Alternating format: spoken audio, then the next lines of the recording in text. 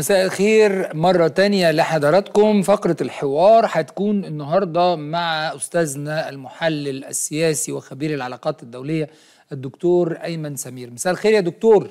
مساء الخير أستاذ ايهاب لحضرتك ولكل السادة المشاهدين. أهلا بحضرتك معانا والحقيقة يعني العنوان آه، يستدعي وجود دكتور أيمن سمير مباشرة لأنه آه، آه، ال- العالم الغربي بقيادة أمريكا وحضرتك الدكتوراه بتاعتك كانت في العلاقات الأمريكية يعني آه، ماشي بينا ناحية إيه و- وبرضو عايز أختار برضو كلمة مناسبة يعني الإصرار الروسي على مواقفه هيؤدي لإيه؟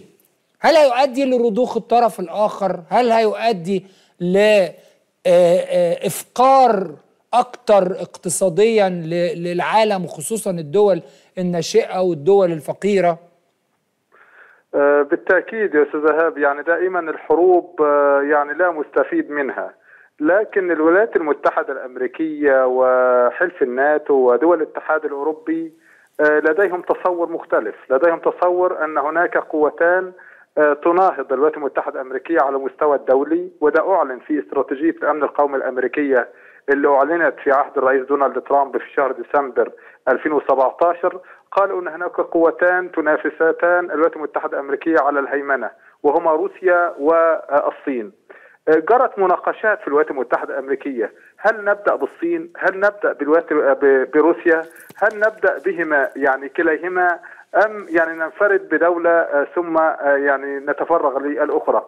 آه، طبعا كانت الخلاصة وهو أن لو عملوا مقارنة ما بين الاقتصاد الروسي والاقتصاد الصيني عملوا مقارنة مع على ال- النفس الطويل من يستطيع أن يحارب أكثر من يستطيع أن يستمر في المعركة أكثر وأقصد أن المعركة ليست المعركة العسكرية المعركة العسكرية والاقتصادية والجيوسياسية وغيرها وصلوا إلى خلاصة بأن الاقتصاد الروسي أضعف بكثير جدا طبعا من الاقتصاد الصيني آه. إجمالي الاقتصاد الروسي حوالي 1.6 من عشرة تريليون دولار آه، أيضا حساباتهم إن هناك مشاكل داخلية والاقتصاد روسيا ال- الأمريكي كام يا فندم؟ الاقتصاد الأمريكي 21 تريليون. فرق ط- آه، واحد كبير طبعا يعني لا اقتصاد روسيا هو آه، آه، حوالي 50% من السوقية لشركة آه، أمريكية للهواتف النقالة طب والصين يا فندم أرقامها إيه؟ آه، الصين 14 تريليون فالفرق آه. كبير برضه يعني ما هو أنا آه، أنا كبير. بسأل ليه عشان كنت هسأل سعادتك الهيمنة دي متمثلة في قدرة سياسية على علاقات هل في اقتصاد قوي هل في احتياطي أسلحة قوي أشكرك أستاذ هلا على هذا السؤال لأنه في هذا الزاوية في غاية الأهمية آه، أنا في تقديري لا يجب النظر إلى الولايات المتحدة رغم إمكانياتها الهائلة بمفردها. آه، دايما وزير الخارجية الروسي يتحدث عن الولايات المتحدة الأمريكية ومن معها. من مع الولايات المتحدة الأمريكية؟ الرئيس جو بايدن يتحدث عن ما اسمه بتحالف القيم ويضم تحديدا الولايات المتحدة الأمريكية ومعها كندا معها دول الاتحاد الأوروبي ال 27 معها حلف الناتو اللي هيبقى 32 دولة بعد انضمام السويد معها اليابان الاقتصاد الثالث معها كوريا الجنوبية وبالإضافة إلى استراليا ونيوزيلندا. أه، بس يا فندم معلش استوقفني كلمة القيم. أنهي قيم؟ آه، القيم الغربية. القيم ما يسمى بعالم القواعد الغربية أو عالم القواعد الأمريكية. هذه القواعد هي بتدور حول مجموعة من الأسس. أول شيء ما يسمى بالاقتصاد الليبرالي أو سيطرة الدولار على العالم. أوه. لذلك الولايات المتحدة الأمريكية تنزعج من أي خطة في العالم للتعامل مثلا بالعملات الوطنية زي ما شفنا من هنرجع الهند لها بقى يا فندم لأن الموضوع ده موضوع كبير ودول البريكس داخلة فيه بقوة وفرنسا كانت عاملة قمة باريس من أسبوعين حول هذا الموضوع وتم الحديث عن عالم ذو آه، أقطاب متعددة مش قطب واحد. ومصر بتحاول تعمل اتفاقيات للقمح وللغاز وللبترول. روبل يوان ين ولا إيه؟ صحيح وروبية كمان هندية وغيرها.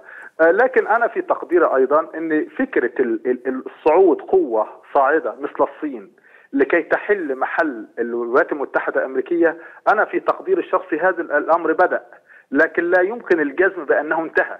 يعني لا يمكن القول إنه استقر آه. انه استقر طبعا. نحن الآن في عالم لا تقوده الولايات المتحدة الأمريكية أو حتى لا تهيمن عليه الولايات المتحدة الأمريكية، ما زالت الولايات المتحدة الأمريكية هي عنصر فاعل في كافة السياسات، يعني مثلا حضرتك سألتني على الشؤون الدفاعية. آه. إنفاق الولايات المتحدة الأمريكية على الجيش وعلى الشؤون الدفاعية في ميزانية 20 تا- آه، 22 23 وصلت إلى 860 مليار دولار. يا يعني هي تقريبا ضعفين الانفاق العسكري الصيني والروسي. مم. روسيا أنفقت 65 مليار دولار. الصين بتنفق حوالي من 280 ل 290 مليار دولار. بس ده يا فندم إنفاق على آه، يعني على أسلحة تبقى تحت أمر الجيش في أي وقت موجودة ولا على تصنيع الأسلحة؟ لأن هم عندهم خطط بيقوموا البلاد على بعض وعمالين يبيعوا سلاح فده ما يعتبرش قدرة للجيش.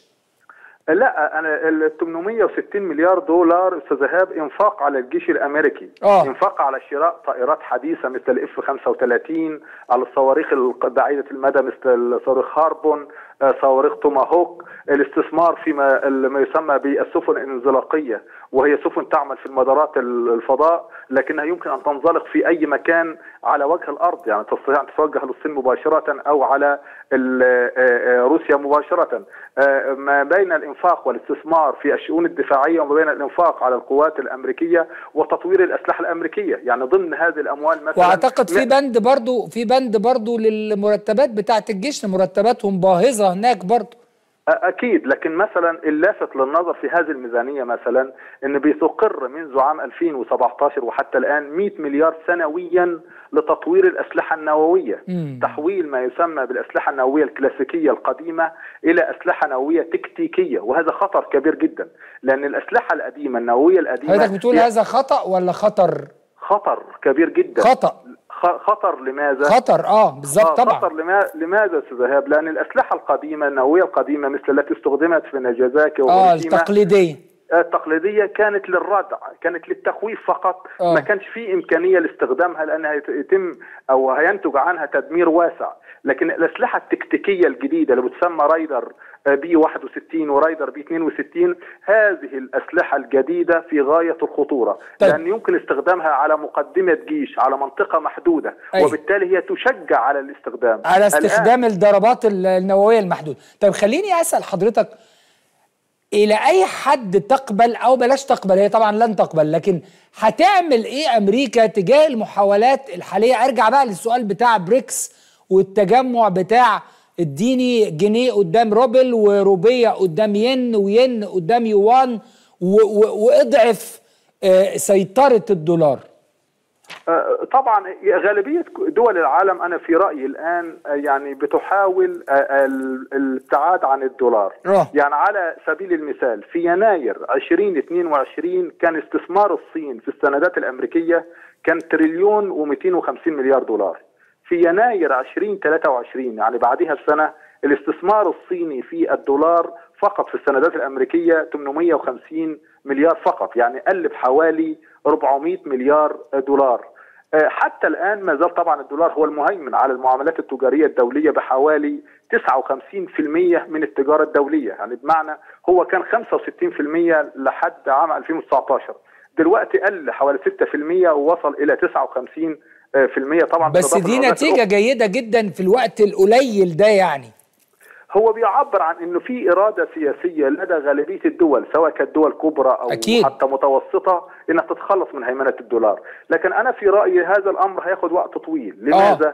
لأن غالبية الديون الأمريكية أو تحديدا الديون الصينية هي بالدولار، وبالتالي عندما يخسر الدولار مثلا آه، جنيه أو نص جنيه مثلا آه، ده خسارة للصين قبل أن تكون خسارة للولايات المتحدة الأمريكية. لأن غالبية الدول آه، تحديدا الصين اليابان الدول الكبرى بتستثمر في الديون الأمريكية أو في السندات الأمريكية. وبالتالي انخفاض قيمة الدولار بيؤثر على هذه الدول. يعني هذه الدول طبعاً. متضررة أيضا. لكن يا فندم أنا- لكن لو لو رحنا لحتة إنه ممكن يعني إلى أي حد ممكن كمان يغيروا الأنظمة المالية الدولية زي السويفت وكده اللي هي كلها برضو مبنية على الدولار أنا في رأيي التخارج بيتم بطريقة يعني تدريجية آه. ليست بطريقة يعني مفاجئة بمعنى إحنا شفنا الصين مثلا في سنة واحدة قل استثمارها في السندات الأمريكية بحوالي 400 مليار دولار أي. يمكن لبعض الدول الأخرى أن تقلل أيضا من استحواذها على الدولار حتى من باب المصلحة لأنه عندما يقل قيمة الدولار أو تضعف قيمة الدولار في المستقبل وده هو المتوقع هذه الدول سوف تخسر من رأس مالها. لكن أنا في رأيي هذا يعطي رسالة للولايات المتحدة الأمريكية. أن خطابها السياسي أن خطابها الاقتصادي أن تعاملاتها المالية تدخلاتها في الشؤون الداخلية للدول الأخرى غير مقبولة. غير مقبولة. لأن لأن أنا في تصوري حتى القرارات الاقتصادية لها دوافع سياسية. طبعا. يعني طب يا فندم لو أنا نقلت مع حضرتك على موضوع العقوبات اللي هيستمر اللي تم تمديدها من الاتحاد الأوروبي لغاية 31 يناير 24 العقوبات المفروضة على روسيا وإيه اللي ممكن آآ آآ تحدثه على العالم خصوصا في سوق الحبوب الغاز البترول السلاح يعني دي الحاجات اللي مميزه بيها روسيا وأوكرانيا.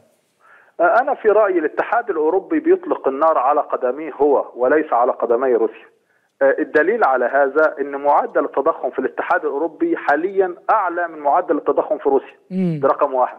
رقم اثنين وأعلى مما كان عليه قبل الحرب الروسية الأوكرانية. آه بالتأكيد. لكن الحاجة المهمة كمان إن معدل اقتصاد معدل النمو في الاقتصاد الروسي ربما يكون أكثر حتى من معدل النمو في دول الاتحاد الأوروبي نفسها. أي. ده رقم اثنين رقم ثلاثة وده المهم الثراء أو الازدهار اللي حصل في الاقتصاديات الاوروبا الأوروبية في آخر 20 أو 30 سنة الماضية كان بيقوم على يعني ثلاث مبادئ لكن المبدأ الرئيسي فيهم كان الوصول إلى الطاقة الرخيصة آه. الغاز الروسي النفط الروسي الرخيص طبعا. خصوصا اللي هو جاي في ال pipeline أو جاي في في الأنابيب مش المنقول آه، شحنات الغاز المسال في البحر أو ال- النفط المنقول آه، في البحر ده آه، كان أساس الرخاء الألماني كان أساس الازدهار الأوروبي بشكل عام بالإضافة طبعا لعدم الإنفاق على السلاح والوصول للأسواق الكبيرة زي الصين وزي روسيا. الآن عندما الاتحاد الأوروبي بيفرض هذه العقوبات هو أنا قلت بيطلق النار على نفسه لماذا؟ لأنه مضطر يشتري الغاز المسال من الولايات المتحدة الأمريكية بأسعار مضاعفة محتاج يضطر الآن لشراء كل شيء بعيد عن روسيا بأسعار آه، يعني كبيرة جدا. وبالتالي فكرة إن الاتحاد الأوروبي معدل النمو تراجع التضخم زاد آه، معدل البطالة آه، زاد. المواطن الأوروبي بات يشكو شكوى كبيرة طبعا. جدا. ويتظاهر كمان مش بس بيشكو لدرجة إن بعض المحللين بي بيقولوا إنه أمريكا بتدفع بالاتحاد الأوروبي إلى الهلاك في هذه التبعية العمياء يعني.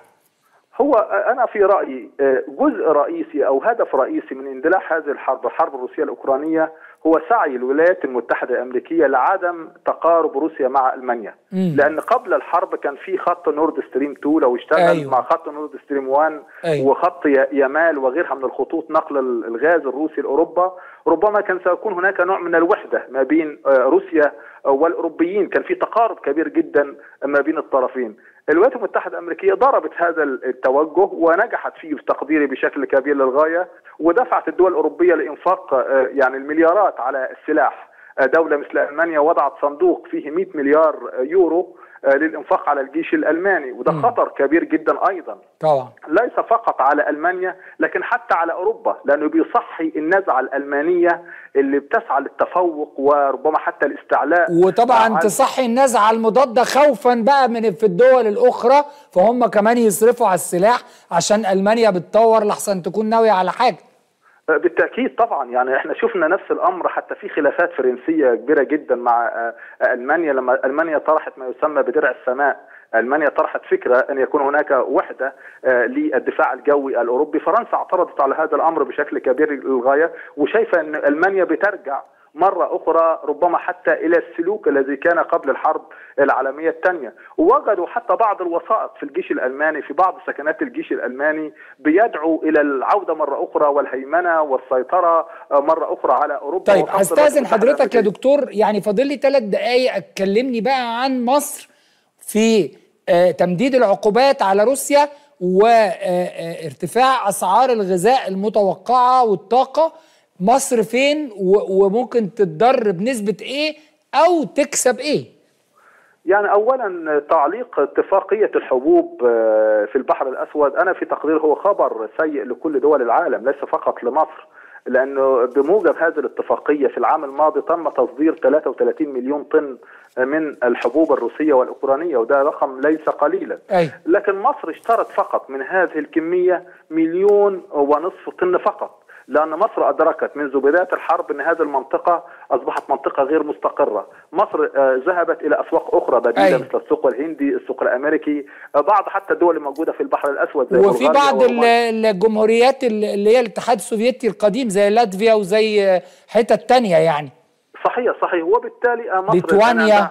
آه مصر عندها اولا احتياطي كبير جدا يعدي حوالي خمس شهور ونص أو ستة شهور آه عندها تنوع في الأسواق عندها تعاقدات استراتيجية على المدى البعيد أي. وبالتالي أنا في رأيي آه فكرة يعني وقف هذه الاتفاقية لن يؤثر على مصر تمام. خصوصا أن هناك توجه الآن لنقل الحبوب الأوكرانية بطرق مختلفة يعني هناك فكرة لنقل الحبوب الاوكرانيه عبر نهر الدانوب وأيضا عبر السكك الحديدية نقل الحبوب إلى طب بولندا هل ده هيكون بعيد عن أعين الجيش الروسي اللي أعلن إن بكرة آخر يوم وأي سفينة هتعتبر عد- عدوة وكأنها بتحمل قطع عسكرية وإنه لو رفعت دولة تانية علمها هيبقى ده معناه انخراط هذه الدولة في الصراع الأوكراني الروسي؟